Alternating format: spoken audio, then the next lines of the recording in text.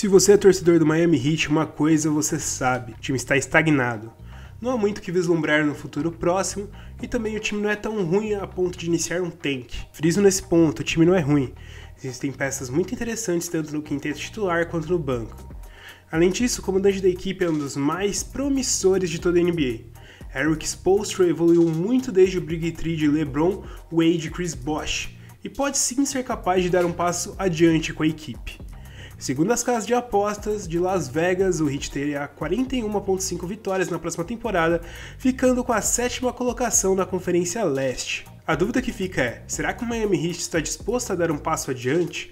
Ou será que o objetivo é conseguir fazer uma boa temporada de despedida para o maior nome de sua história, Dwayne Wade? Antes de responder essa pergunta, curta esse vídeo, compartilhe com seus amigos e se não é inscrito no canal, se inscreva e clique no sininho para receber em primeira mão todos os vídeos do Buzzer Beater. Isso pode parecer bem pouco para você, mas ajuda a gente demais a conseguir melhorar nosso trabalho e aumentar o nosso alcance dentro do YouTube. O time do Miami Heat pode ser definido em quatro tipos de jogadores: os jovens com algum potencial a desenvolver, os que estão quase em seu auge e podem melhorar bem pouquinho, os jogadores já consolidados que não têm muito aonde ir, e Dwayne Wade. Vamos começar pelo primeiro bolo dos jovens com potencial que podem mostrar algum crescimento na franquia nessa temporada. Nesse grupo estão Bano Adebayo, Josh Richardson e Justin Winslow. Era de se esperar que nesse momento da carreira Winslow fosse um dos pilares da franquia, mas parece que a sua evolução não foi como se todo mundo imaginava. Inicialmente, no seu ano de rookie, ele surgia como um jogador all-around que podia fazer de tudo um pouco, jogando ainda em alguns minutos da pós-temporada como pivô. Mas por problemas de lesões no seu segundo ano, acabaram atrasando seu desenvolvimento, fazendo com que ele perdesse 64 jogos naquela temporada. Na última temporada, ele acabou sendo deslocado para uma posição principalmente ela pivô e mostrou bem pouco para quem achava que seus números deveriam crescer. Pode evoluir? Pode, mas é bom manter um pé atrás. Nessa temporada a gente vai conseguir definir se ele vai ser uma das estrelas do Miami Heat ao longo dos próximos anos ou se ele vai ser apenas um jogador de complemento na equipe. Os outros dois, Josh Richardson e Bana Debaio, parecem ser bem mais interessantes e são aqueles em que a franquia pode se apoiar no momento. Adebayo acabou roubando alguns minutos na rotação de Hassan Whiteside, que é um dos jogadores com um dos contratos mais gordos e mais improdutivos da NBA. Mesmo sem muitos tocos, ele melhora muito o aspecto defensivo da equipe dentro de quadra, diminuindo em 3 o número de pontos cedidos a cada 100 posses. No momento de maior evolução do Hit no campeonato, em dezembro e janeiro, foi quando ele apresentou os melhores números em pontos e rebotes.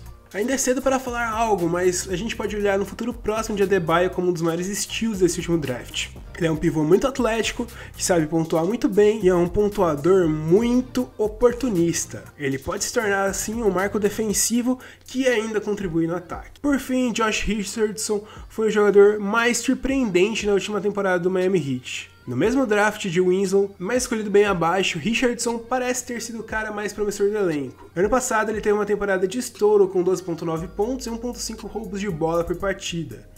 Estreou um dos melhores jogadores 3D da NBA, aqueles que arremessam bem de 3 e tem uma defesa muito consistente, espaçando bem a quadra para infiltrações e correspondendo no ataque do perímetro. Ele teve quase 38% de acerto da linha de 3 com um volume de quase 6 arremessos desse tipo tentado por jogo. Ou seja, mesmo mantendo o volume alto, ele teve uma boa porcentagem dessa faixa de quadra. Ele acabou se tornando uma grande surpresa em um time mais fechado e com pouco teto de evolução. O segundo grupo são daqueles que estão quase no seu auge, mas têm um teto um pouco para evolução. Aqui podemos citar Tyler Johnson, Kelly Olynyk e John Waiters. Olynyk, ou vulgo Larry Bird canadense, teve uma evolução incrível desde que saiu do Boston Celtics para o Heat. Foi sua melhor temporada em pontos, rebotes, assistência e segunda melhor em porcentagem de arremesso da linha de 3 pontos.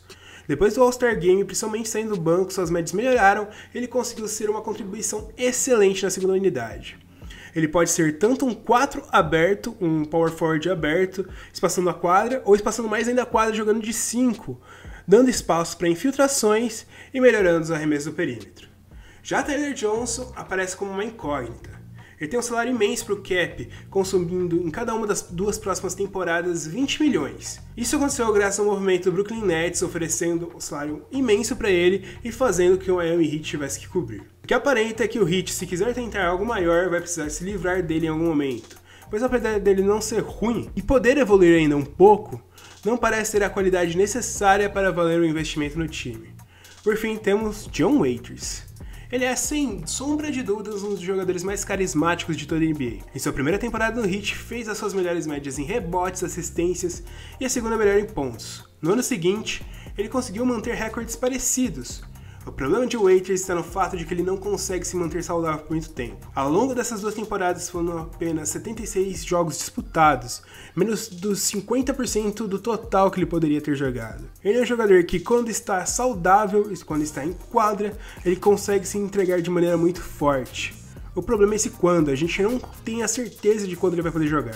No time de jogadores consolidados, sem teto de evolução, temos Goran Dragic, Whiteside, James Johnson. Whiteside aparenta ter um futuro mais longe do Miami Heat, com um contrato muito gordo, ele acabou não tendo o salto que se esperava dele. Todo mundo imaginava que ele fosse se tornar a base da franquia nos próximos anos. E ele acabou perdendo minutos valiosos na última temporada para o Olinick e Banadebaio. James Johnson evoluiu muito na temporada antepassada e foi uma grata surpresa para o Miami Heat. Ele pode ser uma peça muito interessante saindo do banco, entretanto, seu salário de 15 milhões não indica isso. É muito investimento para pouco retorno. Por fim, Goran Dragic é o franchise player dessa equipe. Por mais que tenha 32 anos, ele mostra que pode muito bem continuar no topo e se manter por mais um ano ou dois como um dos melhores armadores de toda a NBA. Temporada passada conseguiu sua primeira ida para um All-Star Game depois de ter sido também o MVP do Eurobasket. Entretanto, para uma estrela, parece que o nível de Goran Dragic é muito mais baixo que as outras estrelas da NBA. Ele é um armador muito bom e pode continuar sendo um armador muito bom ao longo do tempo, mas ele aparenta ser um coadjuvante, tendo que outra pessoa assumir o protagonismo para poder fazer com que o time renda mais. Finalizando, temos Dwayne Wade. Para você que acompanhou a NBA faz pouco tempo, não sabe do tamanho da força do Dwayne Wade. Ele anunciou que vai aposentar ao fim dessa temporada. E ele merece todos os elogios. Ele é o maior nome da história do Miami Heat. Tem três títulos e acabou alçando a sua equipe ao topo da liga diversas vezes. Quando esteve ao auge, foi cestinha da liga e MVP das finais. Não é nenhum absurdo colocar entre os três maiores da posição de armador de toda a história. É bem realista, inclusive. Poucos dessa posição conseguiram defender tão bem quanto o Dwayne Wade. Mas isso gera uma questão. Essa temporada vai ser uma temporada em que o Heat vai buscar uma alta colocação ou simplesmente vai ser a temporada de aposentadoria do Dwayne Wade? No que eles vão focar? Sinceramente, acredito que uma coisa não impede a outra. Por exemplo, Wade não chega ao final da carreira do jeito que Kobe chegou. Salário alto não querendo ter uma função secundária na equipe. Wade pode muito bem ser o sexto homem e comandar a segunda unidade em pontos. Tudo bem que seu físico é uma das principais características do seu jogo, não é mais o mesmo, mas mesmo assim, na temporada passada ele conseguiu contribuir com 12 pontos saindo do banco. Ele pode ser uma peça muito importante nessa segunda unidade. Miami Heat deve acabar sendo escalado com Goran Dragic, John Waiters, Josh Richardson, James Johnson e Bana Adebayo. É um time competitivo para um leste ainda enfraquecido e pode chegar tranquilamente ao número de vitórias que foi previsto pelas casas de aposta, inclusive passar esse número. Mas eu não consigo achar alguma coisa muito interessante para o futuro do Miami Heat. É uma equipe de primeira rodada de playoffs e se encaixar muito bem no máximo nas semis. Tudo bem que na temporada passada, entre dezembro de 2017 e fevereiro de 2018, o Miami Heat era uma das equipes sensações de toda a NBA. Muitos até colocavam Eric Spoelstra como candidato a Coach of the Year. Mas isso não durou muito. Eles têm uma equipe muito interessante, principalmente se contar com o que eles têm a oferecer no banco. É uma equipe muito homogênea. Sai jogador, entra jogador, o nível não cai muito.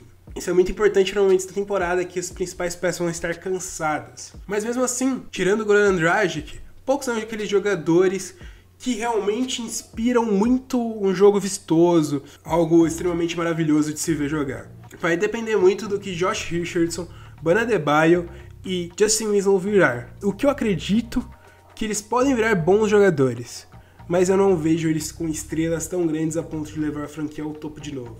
Eles vão ter que fazer um trabalho muito interessante nos próximos drafts e principalmente nas próximas free agents. Eu não sei que eles vão conseguir fazer isso, porque nos últimos anos eles não conseguiram fazer isso. Conseguiram apenas trazer alguns jogadores para complementar seus elencos. E você, torcedor do Miami Heat, o que, que você espera para esse time nessa temporada? Deixa aí nos comentários. Você que não torce para o Miami Heat, o que você acha que vai ser a última temporada de Dwayne Wade? Comenta aí também. Se você não é inscrito no nosso canal, se inscreve, clica no sininho para receber a notificação de todos os vídeos do Buzzer Beater na sua página do YouTube. Também compartilha com seus amigos, porque cada vez que o canal cresce, vai ser melhor para a gente continuar produzindo vídeos de alta qualidade para vocês. É isso aí, galera. Falou, a gente se vê por aí. Continuamos logo mais com a nossa série de vídeos das prévias da NBA. Falou, é nóis.